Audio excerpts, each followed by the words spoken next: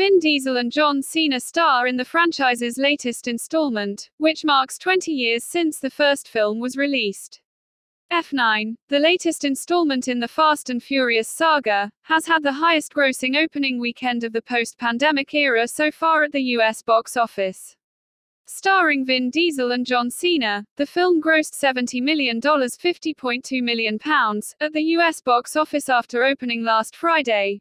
More than A Quiet Place 2, which previously held the record at $48.3 million, £34.7 million. The franchise's ninth film has also had the highest grossing weekend since 2019's Star Wars outing, The Rise of Skywalker, underlining the film's general success and the eagerness of audiences to get back into the cinema. During the pandemic, a number of studios, including Disney and Warner Brothers, have reverted to hybrid releases of movies, placing them on streaming services as well as giving them a cinematic launch, leading to some films struggling at the box office.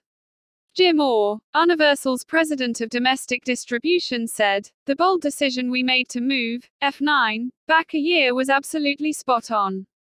F9 marks 20 years since the first Fast and Furious movie was released, spawning a franchise of car chases, stunts, and espionage.